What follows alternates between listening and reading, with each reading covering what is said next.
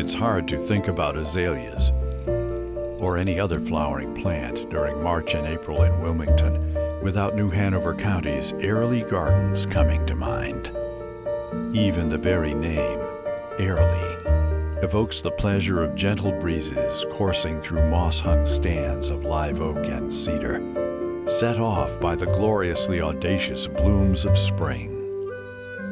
Originally a place of retreat and repose for some of Wilmington's leading families, the pure coastal air in what was once described as a happy, beautiful, magical place was said at the time to have been a healthful tonic for the many ails of city life.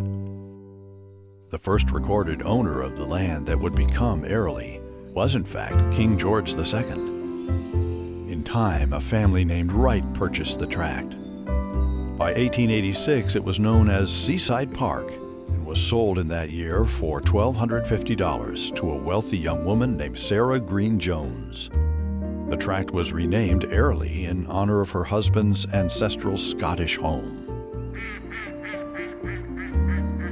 When Pembroke Jones passed away in 1919, Sarah married a longtime family friend, Henry Walters, and stayed on in her rambling old mansion at Airlie in season for the fresh air of Wrightsville Sound and for her flowers. Albert Corbett, whose family owned Airlie from 1948 to 1999. It was an escape. It was a, a place of serenity where people could come and uh, find a little peace and quiet uh, among all the hubbub of a big bustling uh, town that was, was growing with commerce. It, it was just a, an escape, and a, uh, particularly on weekends, that families could come and relate to each other and just experience nature and uh, its beauty. In the early days, it was mainly uh, camellias and azaleas and the lake, and a lot of the uh, the columns and the pergola as you're, as you're seeing, seeing right now. The gardens we see today grew from lavish plantings by Sarah Jones, beginning in about 1901. Sarah preferred to improve on nature's perfection, as it were, by gently directing nature toward completion of her vision, which included a landscape of glimpses and surprises. Coming down the drive toward the house was said to have been an enchanting experience, with a view of the lake here, a brilliant grouping of azaleas there. Hardly a straight line marred Sarah's garden, which simply flowed without seeming contrived. The large plantings you're seeing here are the large Formosa azalea, which uh, comprise quite a bit of the uh, plantings, particularly around the lake. And you're really seeing two plants to every one because of the reflection along the edge of the lake. Many of the staff tasked with keeping Sarah's place up were descendants of slaves, people who were loved, appreciated, and often admired by their employers. During the late 1940s, Minnie Evans, a former housekeeper for the Joneses, became Airlie's beloved gatekeeper. She also became, about that time, an astonishingly adept painter, whose work is much sought after today.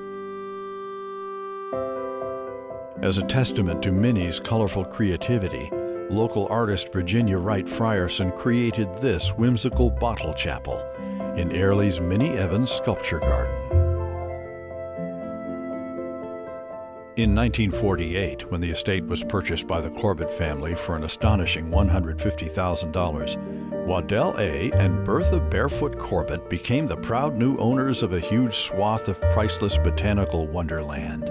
And a great swath of a house, too, that was so big even professional photographers were said to have had a hard time fitting its image into their lenses. There were 33 rooms and 11 full baths. By the time the Corbett's grandchildren were enjoying Airlie in the mid 50s, the family had dismantled the old mansion and built their own home. And that's where their grandson Albert along with his sisters and many cousins, congregated. Yes, what I appreciate most down here was what it meant to our family and was a gift that uh, just almost beyond words to explain what, what, it really, what it really meant for us. It's just indescribable. And that was a big part of the reason uh, that my grandparents purchased Airlie was to bring our family together, and it, it certainly did that. We kids, when we would get down here, uh, we would all gather and determine where we were going and but before I would leave, I can still remember my mother saying, now one place to stay away from is the lake.